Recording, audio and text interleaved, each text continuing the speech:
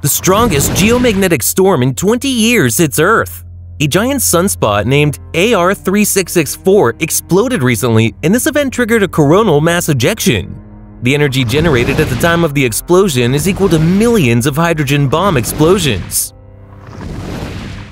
These solar flares are caused by a sudden rearrangement of the sun's magnetic field, and they release a massive amount of energy.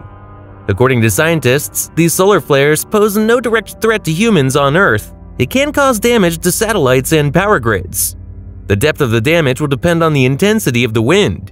If the intensities are high, a strong aurora is formed in the polar regions. Sunspots are the dark areas on the solar surface. These spots are temporary and last for hours or months. These are caused by a strong magnetic field. The motion of the sun's interior controls its own magnetic field, and these solar flares are generated when there's a rearrangement in the sun's magnetic field. According to scientists, the sun is very active nowadays. The sun goes through various cyclical phases called solar cycles. The duration of each phase is 11 years. Currently, our sun is in the 25th solar cycle, so the appearance of sunspots and the number of solar winds is likely to increase until 2025.